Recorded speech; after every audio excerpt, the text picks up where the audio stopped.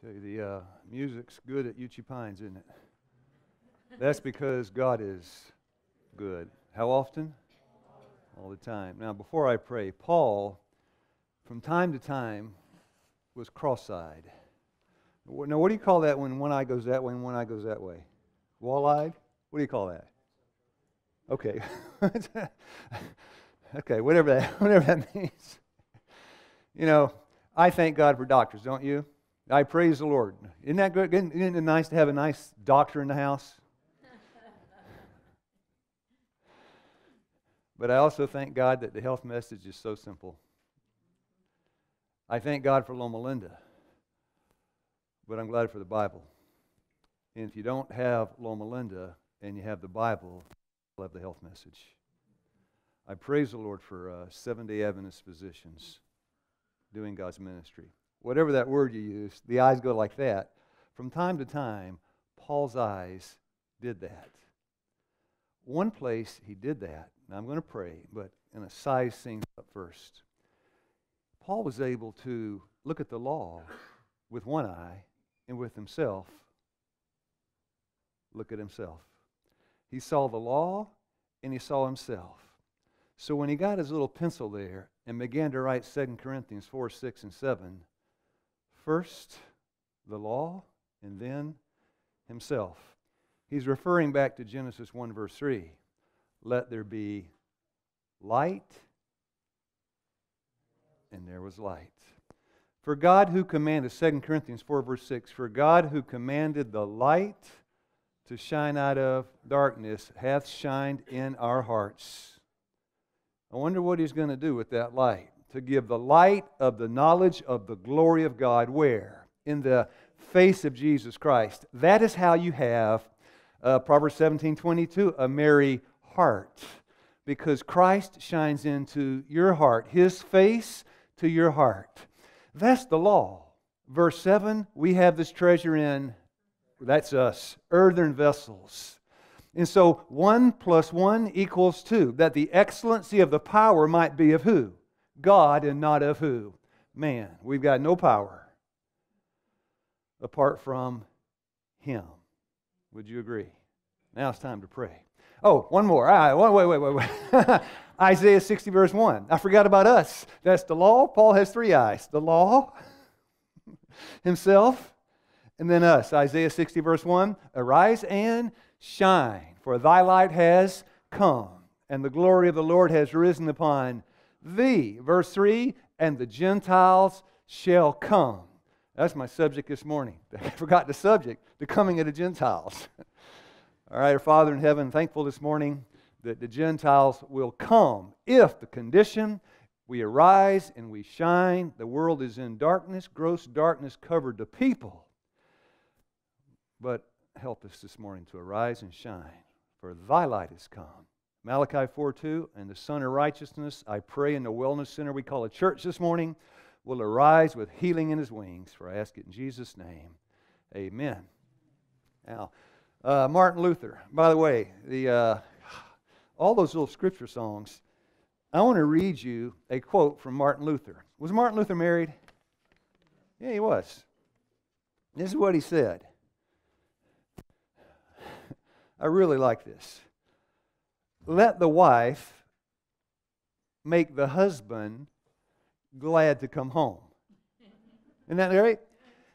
And let him make the wife sorry to see him leave. True or false? Genesis 2.24, man's going to leave his mother, cleave unto his wife. These two shall become what? One flesh. Should a man's heart kind of tear and break when he leaves his wife? No, thank you. Yes. I mean, that's based on what Martin Luther said. Isn't that right? Yeah. Little book, one of my favorite books, Adventist Home, page 15. Let home be a little heaven. Now, you know that too, right? Home should be a heaven. We had a school. There was a man, named, a young guy named Cliff, 16 year old Cliff. It was one month medical missionary school. Cliff was sitting there one day. I read that reference in class. One o'clock. I said, Well, time to end class. I'll pray. I'll go home. Cliff said, Where are you going? Going home. Where are you going? Oh, going where? Heaven. Because when I walk into my home, it should be like a little heaven. So when I leave that place, I kind of feel like I'm leaving what? Heaven. On Wednesday, what is today anyway? Wednesday.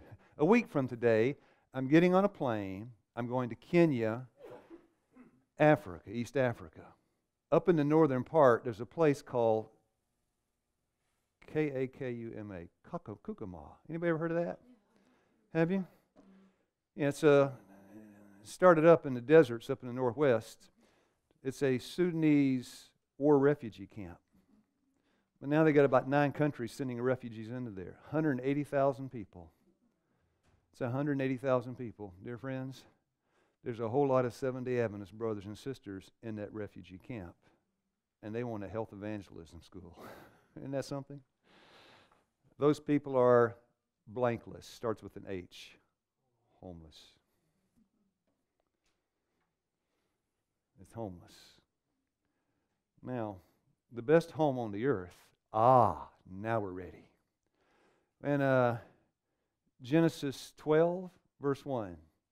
I'm not going to quote Genesis 12, verse 1. Get ye out of your fathers. You know, that, this, this Abraham, the call to come out.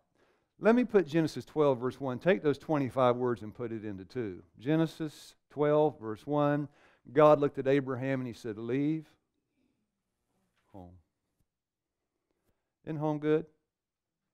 Do you want to leave? There's only one thing bad about Uchee Pines. Let me tell you what it is. My wife's not here. No, my wife's not here.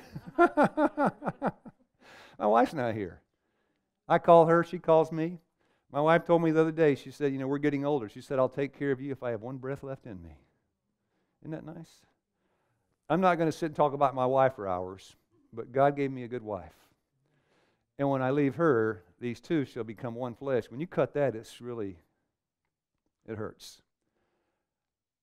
I want to go there, but I don't want to leave her.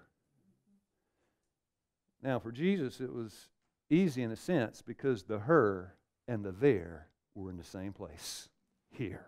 Would you agree? Yeah, you the her. Husbands, love your wives, Ephesians 5:25 as Christ loved the church. Abraham, I want you to leave home. The last part of Genesis 12:2 tells you where Abraham was going. Where was he going? Answer, he didn't know. we call that blankless, homeless. So, what Abraham did, Hebrews 11, verse 10, he kind of geared up, right? Hebrews 11, verse 10, he looked for a city that hath foundations, whose builder and maker was God. Last night, uh, uh, Hebrews 12, 22, the heavenly Jerusalem. That's the only city that hath foundations, whose builder and maker is God. That's what Abraham was looking for. Well, Abraham, where's your home? Hebrews 11, verse 13 I am a stranger and a pilgrim. I have no home on this earth. And I say this from my heart I, I don't have a home. I feel as at home here as I do at Butler Creek or anywhere else. But I have a wife. And where my wife is, there is my home. Did I say that or did Jesus said that? Say that. Both. Did he find heaven not a place to be desired as long as we were lost? Yes. This heaven is just no longer, it feels like home. So Jesus came down here to be home with us. Where are the verses that say that? John 17, 22. They may be one, even as we are one. John 17, 24. They may be with me where I am. That's my home. That's my home. Christ came down, he came home. He's going to come, well, that's, that's, that's, a, that's a whole different subject. That's the subject this morning Abraham. Now, Abraham was quite a man. Isn't that true? Oh, let, let, Paul, medical mission. Always like that. Let's talk about health for a moment. Were there contagious diseases in the Old Testament? Leviticus 13, 45, and 46. Were there contagious diseases in the Old Testament? And name one leprosy. Were there doctors in the Old Testament? Because if you say yes, I say name one, and you can't. In the Old Testament, were there doctors? Name one. Come on, no. Or, or name one. You can't. So if I had leprosy, I don't think you can. If I had leprosy, who checks me out? Who does the exam? Who makes a diagnosis? Who? The priest. That's the priest, right? It's a priest. Go, uh, uh, uh, Luke 17, go and show yourself unto the priest. You go to the priest. He sent you out, he can bring you back. Jesus, right? He's the priest. He sent you out, he can bring you back. So in uh, Leviticus 13 45, it tells you in him the plague of leprosy, and it tells you what the priest does to you. He examines you. If he finds you to be leprous, what does he do? Verse 46, 45 and 46, 13 Leviticus. What does he do? He sends you outside the camp. I see all of you. I'm outside the camp. You're inside the camp. You look at me. I yell, What? Unclean, unclean. And instead of seeing your faces, I see the backs of your head as you flee. Verse 46 And he shall dwell. How? It starts with an A alone. Is it tough to be lonely? Two questions. Population density in the United States. Manhattan takes the cake. Can you be in the middle of Manhattan and be all alone? Better question. Can you be in Uchee Pines and be feel all alone? Yes, you can. Yes, you can. I've been in this work 25 years. Yes, you can. I was the personnel director at Wildwood from 93 to 96. When somebody quit, they came to my office. Rarely did anybody quit Wildwood, but when they did, the number one cause of people quitting Wildwood was I'm lonely. I didn't understand it then, but now I understand it. Proximity of people does not make somebody feel engaged in family. Would you agree? Yeah. So back to Abraham. Sorry, I got kind of carried away. I got all carried off on a tangent there. Got homesick. Don't think about home. So, uh, yeah, yeah, God's good, isn't He? You know, these two ladies here are real encouragement to me because they, they respond, they laugh, you know. Isn't it great? Can we say amen for our, our, our friends from Virginia? I say praise the Lord. Praise the Lord for our friends from Virginia. Praise the Lord for Rita. Wait, somebody say amen for Rita? How about Snapper back here? Somebody say praise the Lord for Snapper? Yeah. How about uh, how about uh, Courtney? I had breakfast with Courtney this morning. Where's he at? Amen for Courtney, right? Yeah, there he is. God just rolls these people in here from all over the place. Isn't that great? Yeah, he's trying to put together a family here at Uchee Pines and at Butler Creek and in this world. Because, why? Now, back to Abraham. Matthew 8, verse 11. Many shall, this is a fulfillment of the prophecy in Isaiah 60, 1, 2, and 3. Uh, Daniel, uh, Matthew 8, verse 11. Many shall come from the east and the west. It doesn't say north and south. I add that in. Is that okay?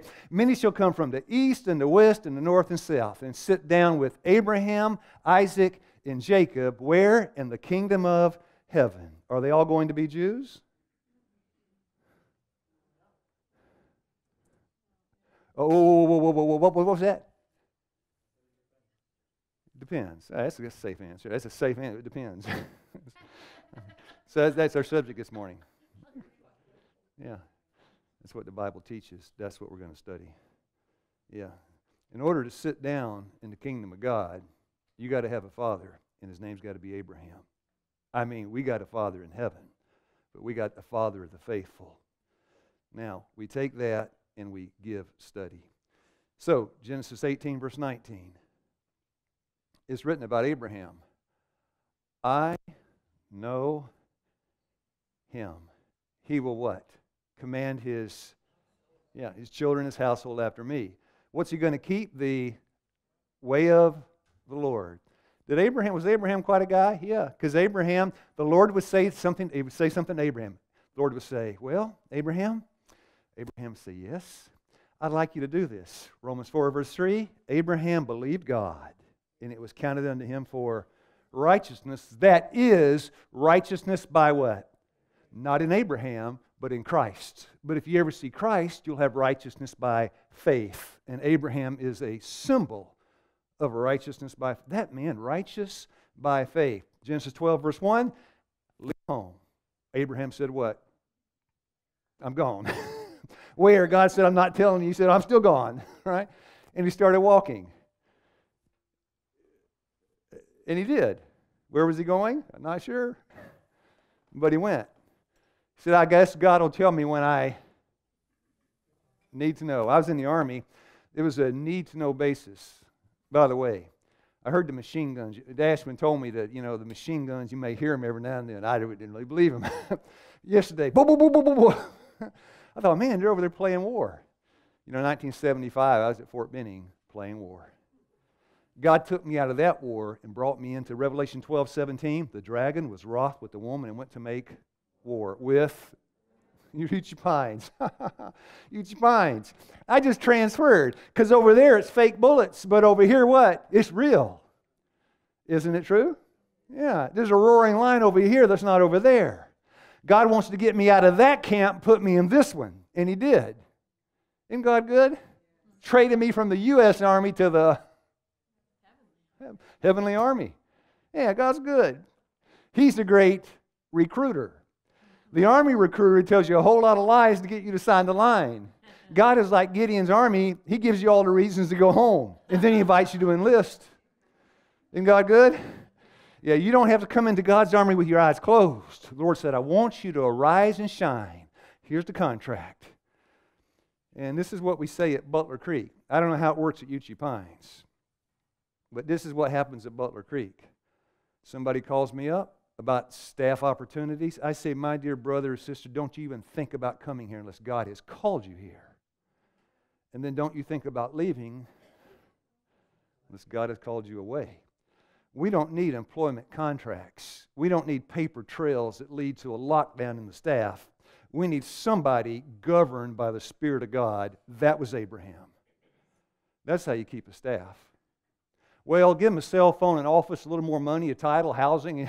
that doesn't, that gets, that gets, I don't know what that catch is, but that's not the kind of fish I'm after. I'm looking for somebody that has one thing in mind a city that hath foundations, whose builder and maker is God. And then we're homeward bound.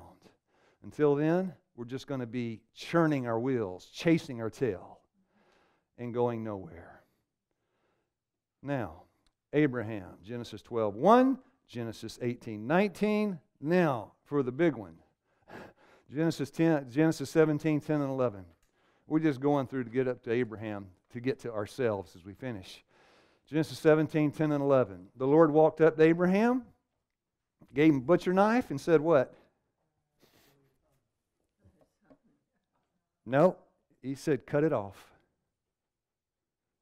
That's right. 17, 10, and 11. Cut it right off, Abraham. There's the knife. A man would never think of circumcising himself, would he? Come on, would he? Is that no, is that something a man would think of? You men, is that something we would invent? No way. That's the last thing on my list. And the Lord said, Abraham, now verse 11 tells you why. Abraham, here, yeah, what do I do with it? what do I, what? I, what? And God said, I mean business. What did Abraham say? You're in the army now, and I mean God's army. Abraham said, What? Yes, sir. Now, we always say to ourselves, by the way, Genesis, uh, Romans 2 28 21 to Romans 2 28 29 next, that explains it. Paul, one eye on Abraham, one eye on the law, and he says, This is it not the letter in the spirit. Last part of Genesis, uh, Romans 2.29. Let me stop and define letter and the spirit. Are they different, the letter of the law and the spirit of the law? Here's the letter of the law. Seventh commandment, not to commit adultery. A man can know that and still commit adultery. That's the letter of the law. Doesn't mean you keep it. Psalms 40, verse 8 I delight to do thy will, O my God. Thy law is where? Hebrews 10, 16, the new covenant. He'll write it where? In our minds. That's to know it and to love it to do it in our hearts. Matthew 5 28, to the man that looks upon a woman to what? Lust after her. That's the spirit of the law, has already broken which commandment? In his heart. That's the spirit of the law. The knife he handed Abraham was an outward symbol of the inward covenant. So when he cut it off, dear friends, brothers, and sisters, circumcision cannot be done halfway. Come on, somebody say amen. Nobody say amen. No, you can't circumcise halfway. Can you? What a mess. It's all there. God's trying to teach us something. He gave something, the heart hath no good. He gave Abraham instruction, circumcision, and that has to be all or nothing. Now Romans 2 28, 29. Romans 2:28 tells you what a spiritual Jew ain't. Romans 2:29 tells you what a spiritual Jew is. And you got to be 29 and not 28. 28 says circumcision of the what? I'm going to kind of paraphrase and flip it backwards. Circumcision of the flesh what? Profits nothing. Nothing. You circumcised, so what? Well, God required it. Dear friends, He required the heart. This was only a sign. This was the real deal. Baptism, you were baptized. Remember Nicodemus, John 3, 5, and 6? He had the baptism of the water, but not of the Spirit. He had the letter of the law, but not the Spirit. So Nicodemus, was he circumcised? Sure. Was he baptized? Yeah. Was he born again? No. His heart was not changed. So uh, Romans 2.28, circumcision profits what? Nothing. He that is the Jew outwardly means nothing. I'm a seven day Adventist. I wear a dress. I eat vegetables, and you're going straight to hell. right, so what? It's got to be inward. Now, verse 29 circumcision of the what? Heart. I'm not saying those things are foolishness. It's good to be a whole food, plant based person, right? If you're a woman, you can save your breast. If you're a man, you can save your prostate. It's good to be a health. I don't use that word reformer. It's got such a bad context now. To be a healthy person. By the way, vegan. You can eat, you can drink beer and eat donuts and and uh, Oreos all day long. That's vegan. Vegan doesn't cut the mustard anymore, right? Whole food, plant based, right? The way God made it. Let me just say something about Dean Ornish. Let me name some pre- Let me name some men let me name some men George Bush, Bill Clinton, Donald Trump, Barack Obama, Thomas Jefferson, George Washington. Who am I naming? Presidents. Let me name some men Dean Ornish, Michael Klaper, Michael Greger. Who am I naming? Health advocates, not health advocates, health advocates. Now, probably the cutting edge, the pretty cutting edge health reformer today, probably in the world is Dean Ornish, right? Dean Ornish. Or uh, maybe Michael Greger, those, those guys. Michael Greger will tell you when you were still a monkey, Dean Ornish will say, if you want to have the whole health package, and he's got our package, except for the last part, trusting God, he will say, what you need is a, mm, that's not what you need. I'm saying they got the message, but not the meat. Christ is not in their message. We've got the message and we got the Christ. We got the full package. We have a light that they don't have. Arise and shine. We have the light, but do we shine? That's the question. Abraham did. Now, that's where I'm going. The shining of Abraham. That, I mean, that's what the Bible's all about. So Romans 2.29, circumcision of the heart. That's what God wants. He wants a Jew that is a Jew. Where? Yeah, in the heart, inwardly, in the heart, in the heart. Yeah. Uh, so that's, that's how it was working, right? Now, go over to uh, John chapter 8, verse 39. Abraham, one of my favorite characters in the Bible, Abraham. In John 8, verse 39, uh, there's a dispute. Who the, you know, who's your father and who's this and who's that? And, uh, and the subject rolls around to Abraham. We be the children of Abraham we be the children of Abraham. you know, we be the children of Abraham. And Jesus said in John 8 39, if you were the children of Abraham, you would do the what? Last part of the verse works of Abraham. Verse 40, you're trying to kill me, and Abraham would never do that. Right? You're trying to kill me. Abraham would never do that. Therefore, you are not the children of Abraham. You may be in his genealogy, you can trace him back. So what? You may be circumcised and baptized. Big deal. You're trying to kill me. You got no place at the table in Matthew 8 11. You got a place waiting in the lake of fire. That's the reality of the gospel. It has to be on the inside. And what keeps it on the inside is when we look at those around us. The first commandment, love the Lord your God with all your heart. You're so 22, 27, 28, 29 of Matthew. And the second commandment, love your neighbor as yourself. If you want to keep it on the inside, when you look at people, you got to look where? On the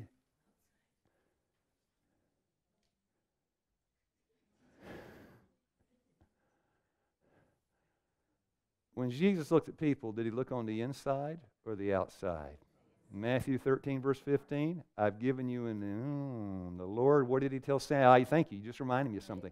What did the Lord tell Samuel when he, had, he gave Samuel a health lecture? There's Eliab. He's a good looking man. He's tall. He's broad shouldered. He's a good looking man. Got a full head of black hair. He's a good looking man. He'll be a good king. And Samuel said, What? Is, that, is, is the Lord speaking to me? What did God tell Samuel?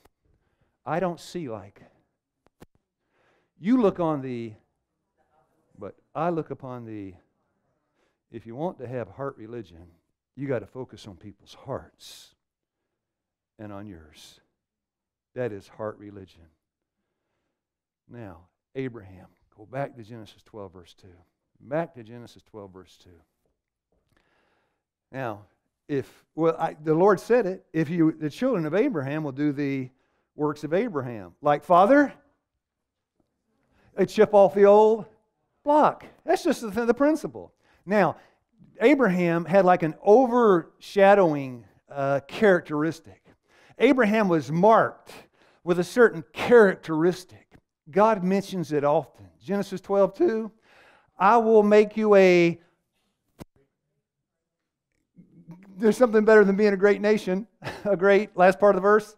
And you shall be a blessing. A great nation, too, but you'll be a blessing. Next question a blessing in the church or outside? Both. Because when God had Abraham put his hiking boots on and take off, where was he walking? Canaan. Who was in Canaan? Abimelech, king of Shechem, bunch of heathens and pagans, not one Christian in the whole place. And that's the place Abraham walked into. And when Abraham would leave Abimelech, he would leave Shechem, he, he was hanging out near Sodom. When Abraham would walk past, when he left, the people said, He's a what? That's what they said. He was a rising and shining. They said, That man was a blessing. The question is, are we? And I don't mean inside the church, I mean where?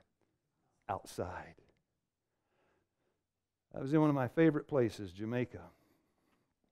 This is like six years ago. Pastor Milton Gregory, at that time, was the uh, vice president for health of the West Indies Union. It's where they had the Jamaican Union.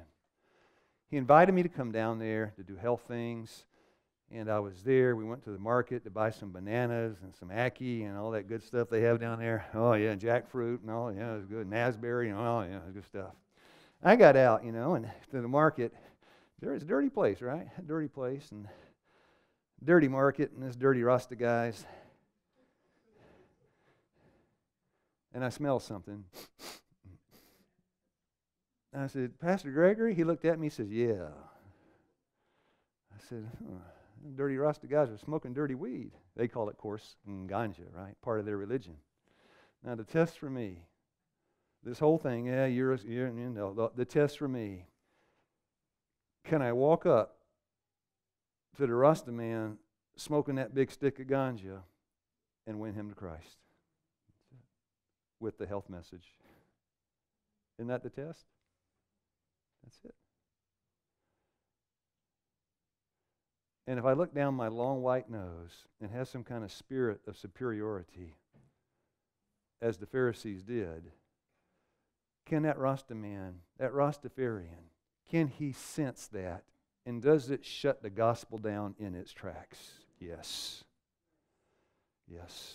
The most deadly poison in this world, I can give you 50 Bible verses, is self what? Righteousness. And Abraham was not. He was the polar opposite. That's what we've got to have. We've got to have a heart like Abraham. Now, I got nine, ten minutes left. a heart like Abraham, which means you've got to be a, a child of Abraham. You've got to have his spiritual inheritance. Now, the good news and the bad news. You want the good news or the bad news first? the good, no, no, no, come on. No, no, no, come on. No, no, no. My friend from Virginia, I got to overrule you this time. Good news or the bad news first? Don't say anything. Bad news. I Always want the bad news first. The bad news is you're on the, you're, you're on the, and they said this a lot in Southeast Asia. Oh, I was born a seven day Adventist. no, you weren't. You weren't born sweet. the people love Cal Thrash here. I got to be careful, right? and they love your parents. Let me tell you my uh, Calvin Thrash story, your dad. I was a brand new, now I'll, now I'll use him as my example, Calvin Thrash, the father. I just cut off my hair. I was the Rasta version. I just took out my big cross. I cut my hair. I stopped smoking ganja. And I came to Wildwood. Looked like a seven day Adventist on the outside, right? I did. Come on, I did. You never know, right? You think he's just a normal person. Sat down there with the other seven day Adventists. And Calvin Thrash, the dad, Dr. Thrash, was the chairman of the board back then, 1994, whatever. Chairman of the board at Wildwood. I, said, I didn't know who he was. Hmm. He got up there in the pulpit. He was giving a sermon that day. It was a constituency weekend. Your dad gave a sermon.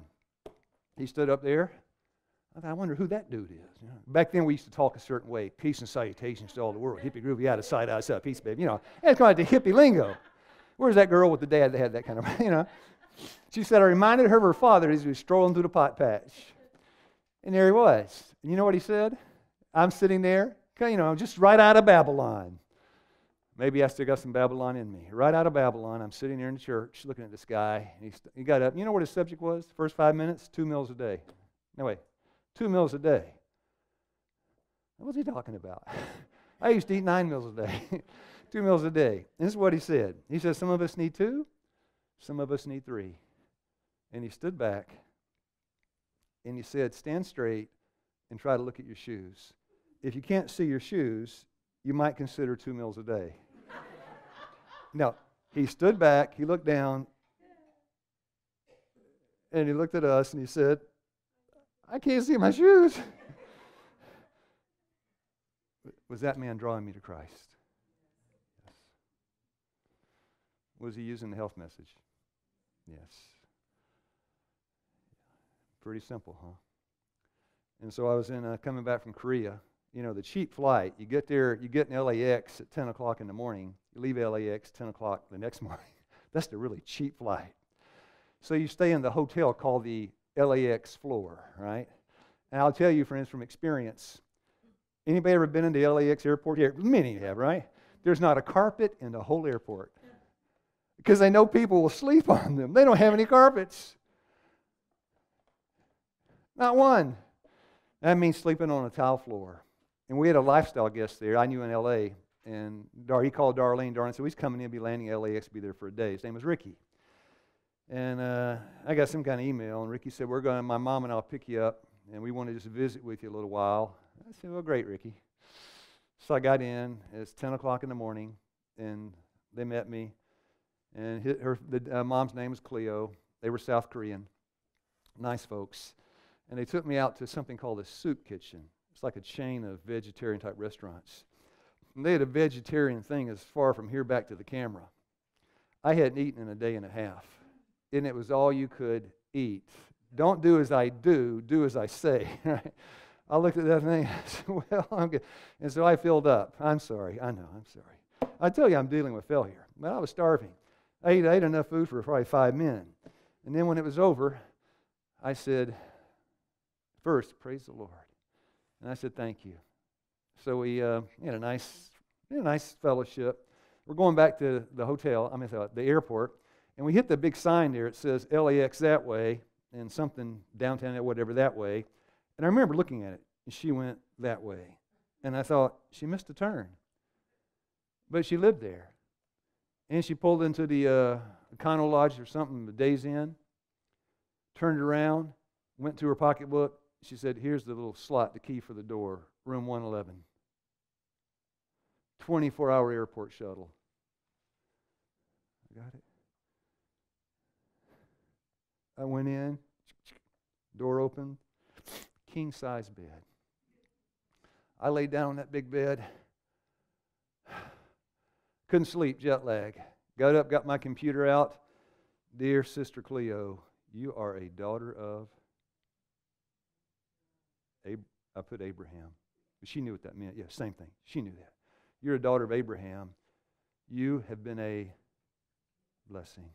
Dear friends, it was not the hotel, it was the thought in her mind to even do that. Would you agree?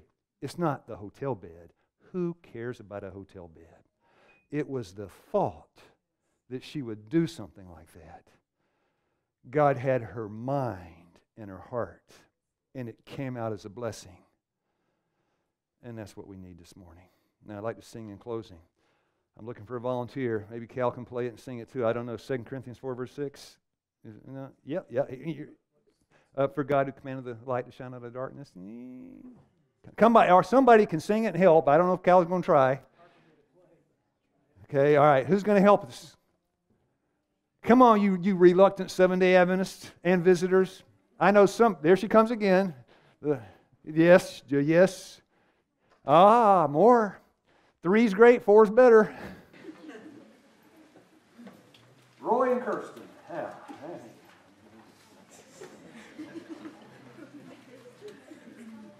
How about we stand?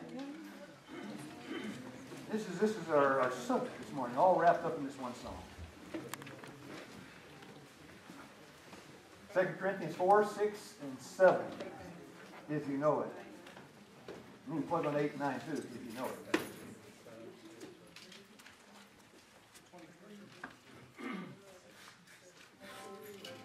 God has commanded the light.